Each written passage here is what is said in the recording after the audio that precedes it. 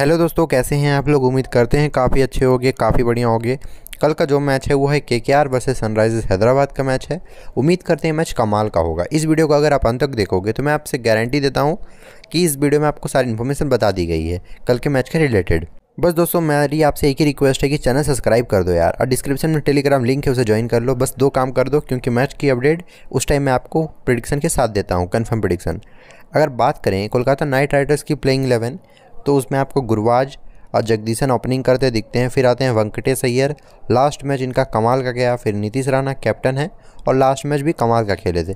रिंकू सिंह, इनके बारे में बताने की ज़रूरत ही नहीं है। लास्ट के पाँच गेंद, पाँच भी गलत कहें तो छः गेंद, क्योंकि जो आखिरी बॉल भी था वो भी सिक्स मारा, और उसके बाद स्ट्राइक पे आने के बाद पाँच छक्के, यानी कि छः गेंदों में छः छक्के लगाए। Andre Russell, Sunil Narayan, Shardul Thakur, Lockie Ferguson Umesh Yadav, Varun Chakravarthy, एक नंबर टीम है। अगर आप देखिए बैटिंग लाइनअप में देखोगे तो फर्गुसन तक हिटिंग कर सकते हैं। यहाँ तक देखा गया कभी कभी उमेश यादव भी रन बनाते हैं। ऐसी टीम, और गेंदबाजी में सुनील नारायण सदुल ठाकुर फर्गुसन उमेश यादव, वरुण चक्रवर्ती का माल की तो कहा जा सकता है बैटिंग भी बढ़िया, बॉलिंग भी बढ़िया, और पंटर की टीम है।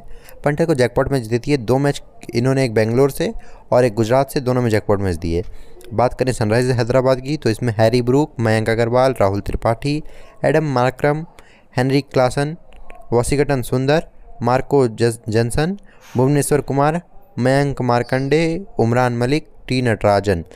इनकी भी प्लेइंग इलेवन कमाल की है। स्टार्टिंग के दो मैच हारने के बाद इन्होंने लास्ट मुकाबला जीता है तो इनका कॉन्फिडेंस थोड़ा तो ज़रूर बढ़ा होगा। हैरी ब्रुक और मयंक अग्रवाल ओपनिंग करेंगे। हैरी ब्रुक ब्रुक पर इन्होंने काफ़ी भरोसा जताया है। उम्मीद करते हैं कल का मैच में है। अगर टीम को जीतना है तो इनका बल्ला चलना ज़रूरी है।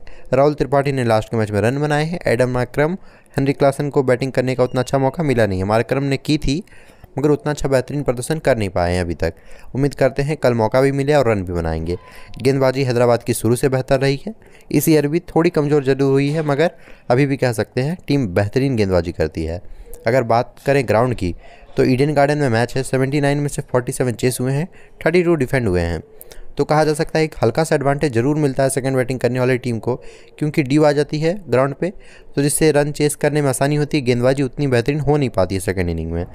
अगर बात करें एवरेज एवरेज इनिंग स्कोर तो 161 है। ज़्यादा रन नहीं बनते हैं, मगर वो भी रन इसलिए ही चेस हो जाते हैं, क्योंकि ज़्यादा रन नहीं बनते। अगर एक बार 200 से ज़्यादा रन बन जाए तो नॉर्मली चेस करना इस ग्राउंड पे काफ़ी मुश्किल हो जाता है। हेड टू हेड की बात करें तो 23 में से 15 मैच कलकत्ता नाइट राइडर्स और एट मैच हैदराबाद ने जीते हैं।